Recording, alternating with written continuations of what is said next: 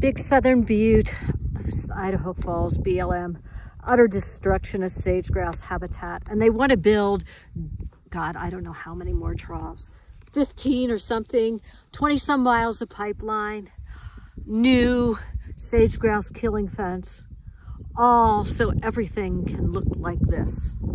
Sage grouse don't stand a chance. Not a chance. Oh, and there's just hideous sagebrush mowing destruction taking place here uh, in May when birds are nesting. You can see some of the mowed off sagebrush in the background.